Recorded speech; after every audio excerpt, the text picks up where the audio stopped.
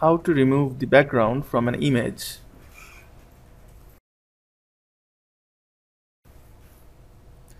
Hello there.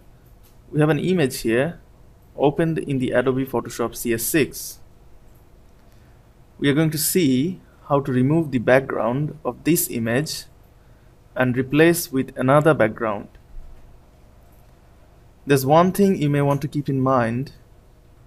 In this image, we have hair to separate as well, which is the challenging bit of this work. Before I start, I want to make sure I make a duplicate of this layer. You can do this by using the shortcut keys Ctrl plus J or right click on this current layer and select duplicate layer and press OK. Now from the toolbox we want to select the quick selection tool.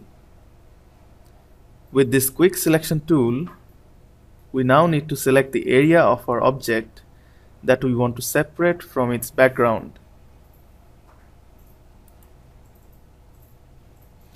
While selecting the object, obviously our selected area might not get to the exact shape of our object. In that case, we can keep hold on the alter button and adjust the selection area.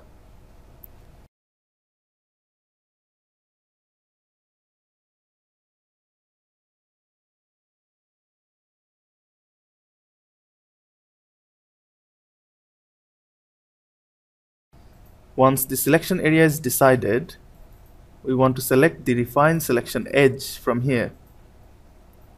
Once clicked, you will see a dialog box popping up where you will see the view option under the view mode. If you click on the arrow here, you will see few modes available to choose the background from. We are going to go with the on white mode to keep the background as white.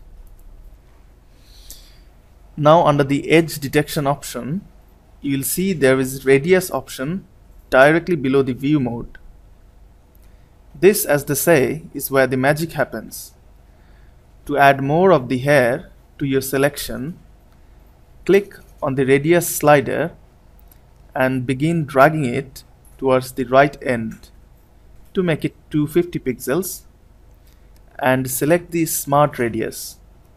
With Smart Radius enabled, Photoshop looks more closely along the edge of the initial selection and tries to tighten up the radius size wherever possible.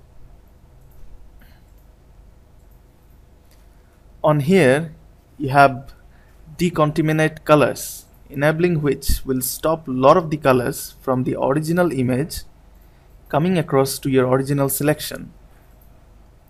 So we are going to put that on to the full.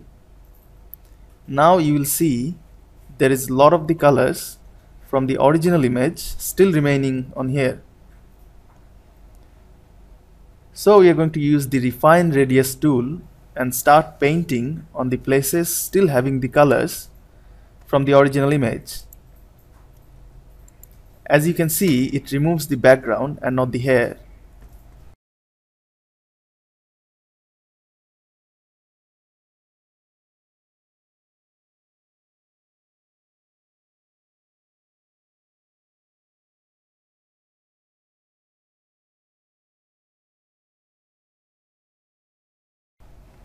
We're going to press OK now.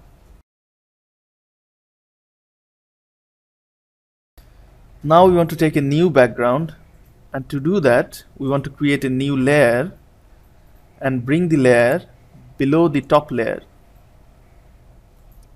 Now we want to go to file and select place and choose a background image we want to use it as and click place you'll see the background is placed but now by dragging the border of the background we will right position the background image.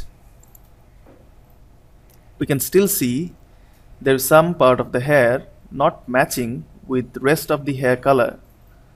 So for that we will grab the burn tool from the toolbox and if scrub on those area it will darken those white area matching with the hair color.